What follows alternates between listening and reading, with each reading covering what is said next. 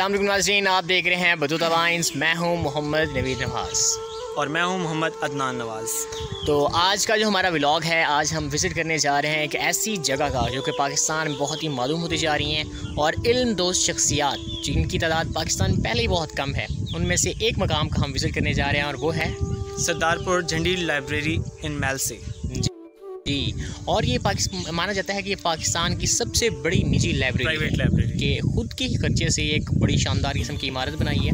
और इसके अंदर मुख्तलिफ़ जो इल्म दोस्त की कुतब हैं वो यहाँ पे मौजूद हैं। और अलमिया ये है कि पाकिस्तान की मोस्ट ऑफ़ द आवाम को इन यहाँ पे पता नहीं है इस इस जगह के बारे में यहाँ की इसकी लाइब्रेरी के बारे में। हालाँकि इन चीज़ों को एक्सपोज होना चाहिए ज़्यादातर लोगों को इनका पता होना चाहिए। और ऐसे काम करने से लोगों के जो हौसले होते हैं वो बढ़ जाते हैं और मज़ीद बढ़ चढ़ के ऐसे सरगर्मियों में हिस्सा लेते हैं। तो आज हम देखते हैं कि कैसा मकाम है इसके बारे में सुना तो बहुत गया है और इसकी जो इमारत है इसके अंदर जो कुतुब मौजूद हैं और इसका जो सराउंडिंग एरिया है वो भी बड़ा खूबसूरत किस्म का है। तो आज हम देखते हैं कि वो किस तरह का है। Stay with us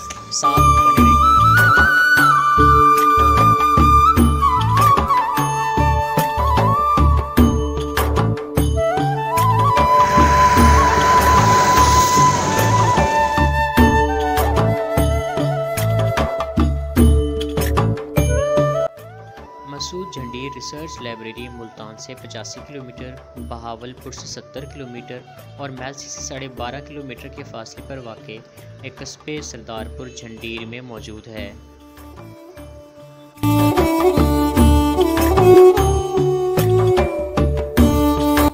तो दोस्तों अब हम पहुँच रहे हैं लाइब्रेरी में। आ, उसकी मेन एंट्रेंस यहाँ से आने वाली है।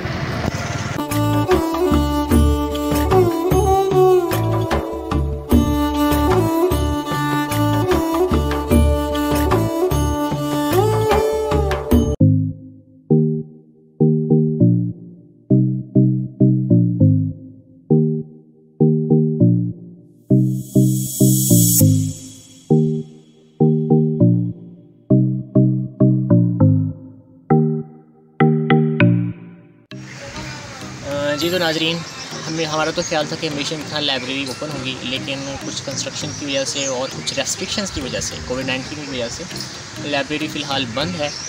तो अभी हम वेट कर रहे हैं चीफ़ लाइब्रेरियन का, जैसे ही वो आएँगे तो उनसे इजाज़तनामा लेकर इन शाला हम आपको अंदर का वीडियो दिखाएँगे। लेकिन बाहर का माहौल भी बड़ा ही खूबसूरत है, बड़ा ही शानदार किस्म का है। और तरह तरह के यहाँ पर फूल और इसके अलावा जो मुख्तलिफ़ नायाब किस्म के पौधे वगैरह हैं, वो भी लगाए गए हैं।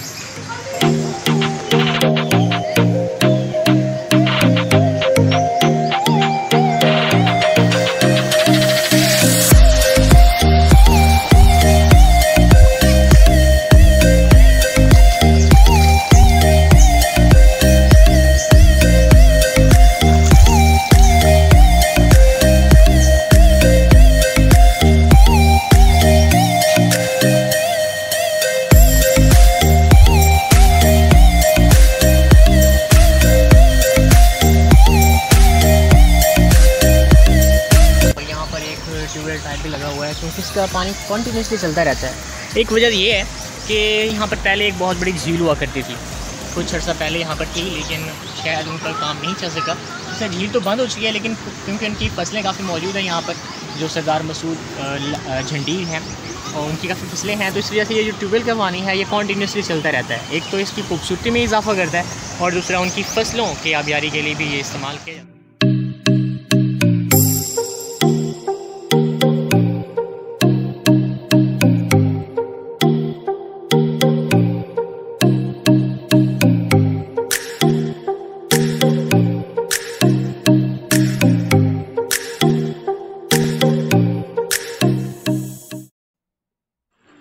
काफ़ी देर इंतज़ार करने के बाद चीफ़ लाइब्रेरियन के आने पर हमें लाइब्रेरी में दाखिल होने की इजाज़त दे दी गई।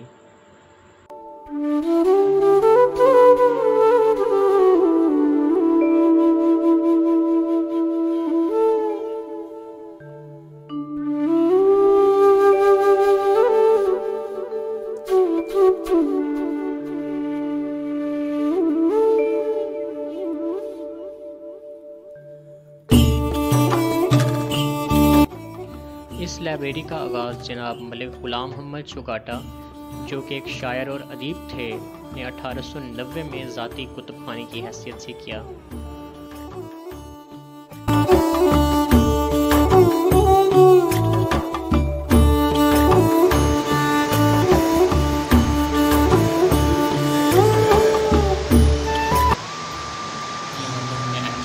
है लेकिन यहाँ पर चूँकि काम चल रहा है, काफ़ी दिनों से। और इसके अलावा यहाँ पर स्प्रे वगैरह का भी हो रहा है तो ज़्यादा चीज़ों में हाथ लगाने की इजाज़त तो नहीं है, क्योंकि किताबों की जितनी भी दोबारा से लग रही है, लेकिन जहाँ तक मुमकिन है, हम वो ज़रूर देखने की कोशिश कर रहे हैं।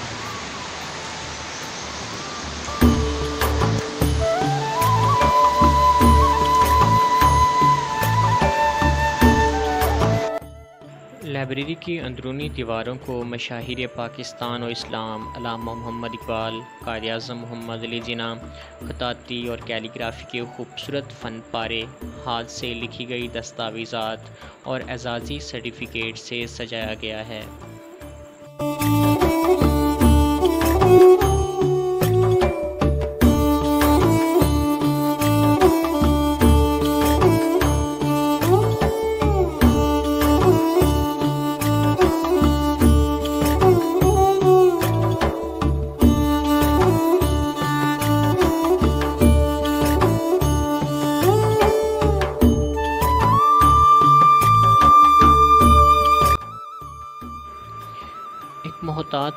के मुताबिक लाइब्रेरी के अंदर इस वक्त तीन लाख साठ हज़ार के करीब कुतब मौजूद हैं।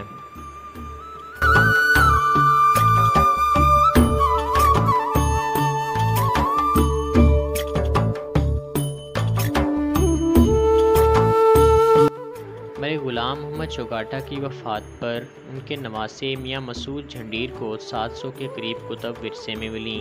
तो उन्होंने बाकायदा एक लाइब्रेरी की बुनियाद रख दी और अपने ज़ख़ीरा कुतब में इजाफ़ा करना शुरू कर दिया।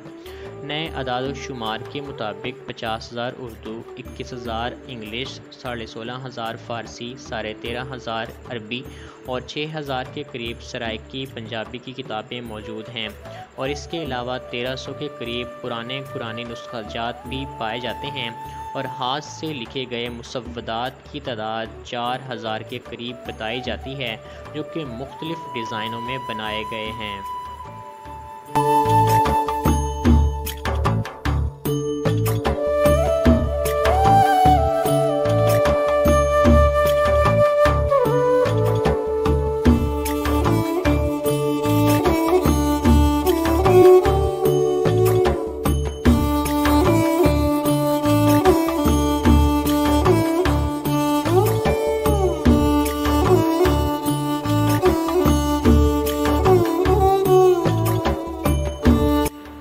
लाइब्रेरी में किताबों के अलावा हाथ से बनाई गई कुछ कीमती दस्तकारियों को भी बड़ी हिफाजत के साथ महफूज किया गया है।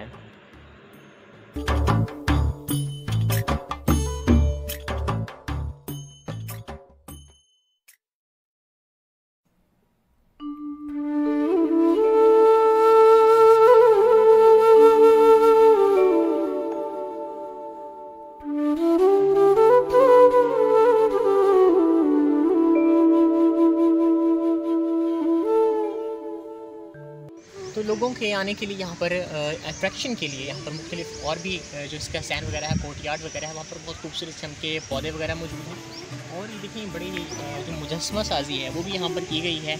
यहाँ पर आपको काब के मुजस्मे भी मिलेंगे, जो बदख वगैरह उनके भी मिलेंगे, और ये खूबसूरत जो घोड़े का मुजस्मा है। सरदार हारून झंडी, जो इसके मामला को संभालते हैं। और गुजशत कई सालों से वो इसको बड़ा ही ज़ौक, शौक से जारी रखे हुए हैं और इसके जो मुजाफ़ात हैं, इसके जो इर्द गिर्द का माहौल है, उसमें भी काफ़ी इजाफा किया गया है।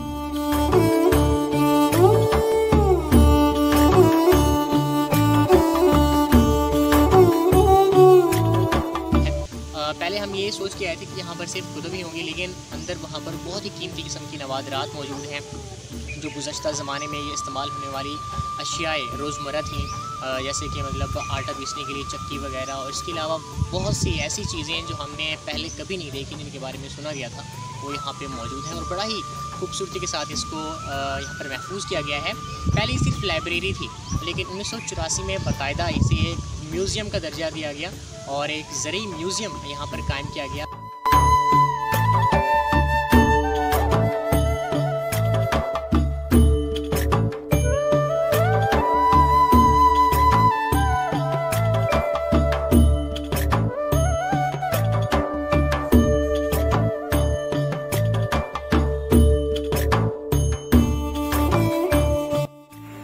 लाइब्रेरी का कुल रकबा साढ़े पाँच एकड़ के करीब है और इस कम्प्लेक्स की मौजूदा इमारत जो कि 25 कमरों पर मुश्तमिल है का अफ्ताह 2007 में किया गया।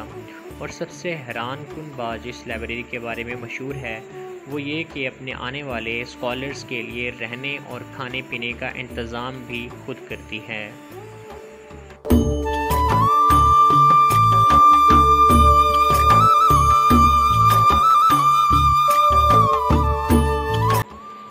इस उम्मीद के साथ कि पाकिस्तान में तालीम और तलीमी इदारे तरक्की करते रहें।